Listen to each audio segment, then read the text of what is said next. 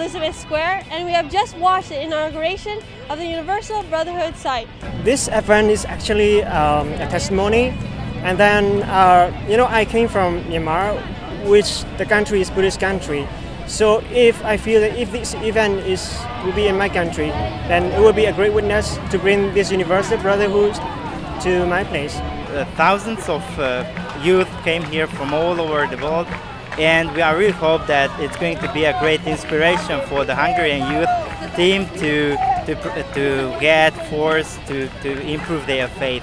When we go home, we can spread that power of the youth community and the power of this mission all over the Hungary uh, because it's uh, the heart of Budapest, I think. Let's preach and all the best. Voglio dire che sono felicissima di essere arrivata. Sto venendo quasi direttamente dall'aeroporto perché non vedevo l'ora di essere con voi. È veramente una festa. Ho detto questo non è solo Gen Festa, è Gen Festosa, Gen Festissima, tutto. ciao a tutti, eh, ciao ciao.